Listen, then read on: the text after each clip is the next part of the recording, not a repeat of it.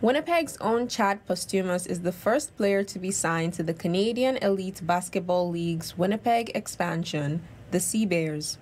From his high school days playing ball at River East Collegiate to playing professionally in Japan, Argentina, and across Canada, Posthumus is now making a full circle return to his roots and says it's a great opportunity to play the game in his hometown, Winnipeg. It's very exciting to be able to come home and kind of play here at this point in my career. It's a great opportunity, really excited, and uh, it's awesome again that I'm just able to play here at home in Winnipeg. The city has now had a professional basketball team since the Winnipeg Cyclone seized in 2001. Posthumus says it's great to bring a new level of the game to the community here.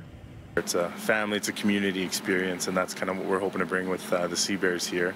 Along with that, some high level basketball that the city's never really got to enjoy before as well. So, yeah. He says with more high level basketball being played in the city, the younger generation trying to get into the game can see that opportunities are available. Being able to show them, hey, professional basketball, you can continue playing. Doesn't matter really where you're from. Um, work hard and play hard, and uh, you always have an opportunity somewhere. The Winnipeg Sea Bears opened their inaugural season on May 27 against the Vancouver Bandits. In Winnipeg, Temi Olatunde, City News. Next on